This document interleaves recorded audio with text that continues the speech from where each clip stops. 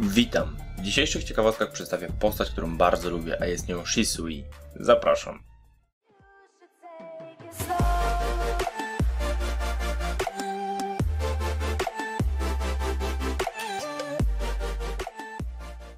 Imię Shisui może mieć dwie interpretacje.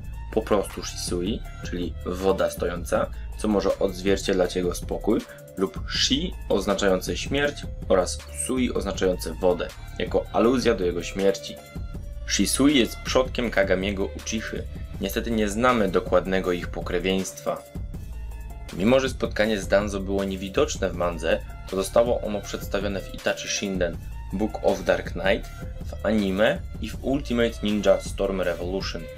W powieści Shisui został zaatakowany przez Danzo i Sugaru Aburame, który zatruł go swoimi insektami. Anime natomiast Danzo zaaranżował spotkanie z Shisui i ukradł jego oko.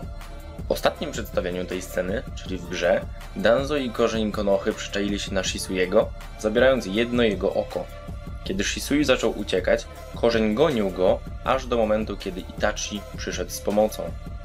Kabuto próbował wskrzesić Shisuiego na czwartą wielką wojnę shinobi, jednak nie udało mu się to. Swoją drogą ciekawy jak wielki problem dla Naruto stanowiłby jeden z najsilniejszych Uchiha. Shisui miał być trenerem Sasuke.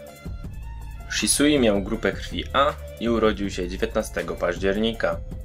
Ważył on 69 kg i mierzył 180 cm.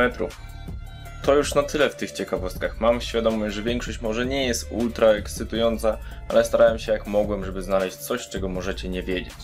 Dajcie znać w komentarzu, jak się podobało i proponujcie kolejnych ninja. Cześć!